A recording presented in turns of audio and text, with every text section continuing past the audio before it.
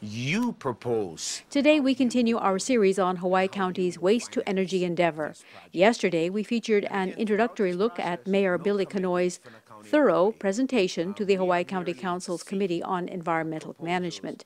Today, we take a closer look at the mayor's reasoning why the current approach will succeed where a similar approach to the solid waste problem failed five years ago. The council voted down the Wheelabrator waste to energy proposal in 2008. So what's different from this than the old? Number one was experience. We wanted to see, show us your experience. Um, number two is the last proposal just looked at waste to energy, anaerobic digestion, and gasification. We want to cast a wide net and explore all options uh, for waste reduction technology. Um, financing. The last proposal was just a public financing. We looked at the county of Hawaii to finance the operation. In this proposal, we want to also explore private financing uh, to minimize cost, risk to the county of Hawaii. You propose how you will build it and how you will finance this project. Qualifications. And the last uh, go around, they only ask for two years of experience. This time around, we're looking for three years of experience. Uh, and also volume. In the last contract, they looked at Hawaii County doing a 233 ton project. We want to explore up to a 300 ton um, project, believing that the greater tonnage will um, provide Hawaii County greater flexibility and perhaps by economy of scale, a more favorable, cost-effective project. Now, how would we get to 300 tons here in East Hawaii? Well, currently we have 22 transfer stations. You know, some going to Pu'uanuhulu, some going to Hilo. Now, from Laupahoehoe all the way to Hawaiian Ocean View Estates goes to Pu'uanuhulu. So that's Laupahoehoe, Paauilo, Honoka'a, Waimea, Hawi, Puako, right? Down to Kealakehe, Keaho, Ke'e, Waiea, Miloli'i, Hawaiian Ocean View. What we would do, proposed to do, is reverse that. Just a couple stations. Pahala and Waiohinu would be brought to East Hawaii. Laupahoehoe, Paauilo, Honoka'a, Waimea would reverse. Instead of going to Pu'uanuhulu, they would come back to Hilo. And that's considering that Honoka'a and Waimea are seven day a week stations. These are not three day a week transfer stations. So, in preliminary discussions looking at tonnage, that would reverse that. And I know Waimea has concerns in terms what is the impact of doing that on our communities. And the impact would be instead of Laupahoehoe, Paauilo, Honoka'a going through Waimea, you'd only have Waimea coming back. So we'd actually minimize our impact on Waimea and North Hawaii.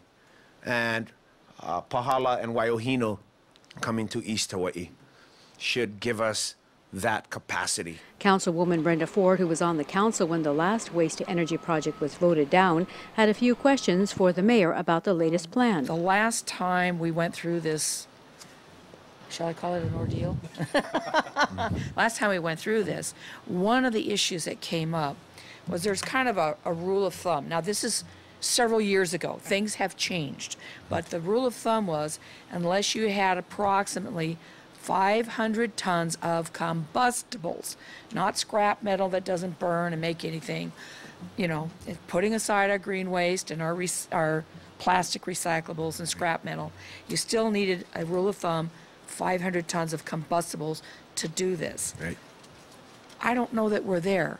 At that, you know, based on our tonnage right now, Uh, we're not there. We were surprised at the extensive list of smaller municipalities who have waste reduction technologies in the 100 ton, 200 ton, and 300 ton ranges. So we'll be happy to provide that to you. It, it ranged from Pennsylvania, Pennsylvania, New York, Maine, Vermont, Canada, um, and around the country of similar sized municipalities like us, us who have implemented waste reduction technology on a much smaller scale over a pretty significant period of time, some going back to the late 90s, early 2000s. That, that really truly puts my mind um, uh, more at ease because, you know, we, it was a not, it was a slugfest the last time over that issue.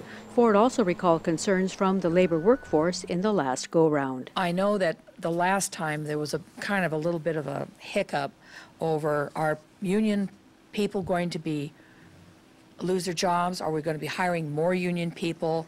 Is the plant going to be unionized? I mean, there were, because it's on county property and it is um, a government partnership with a private entity.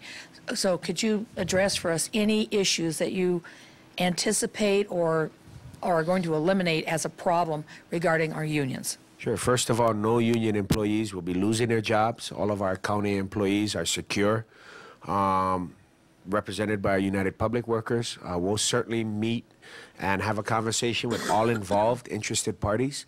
Um, but that's where we're at right now. Where anybody shouldn't have a concern that their jobs are at risk because they're not. Uh, we wouldn't allow it to be. Um, anything going forward, clearly at this point, is speculative. And, um, you know, the bottom line is we're going to make sure, as we've always done in the past, to be fair uh, to everybody involved. And uh, we'll make sure we protect everybody's interests. And that at the end of the day, everybody feels very comfortable that it's a fair, equitable process, and ultimately everybody's protected and ensured uh, going forward that they're treated fairly.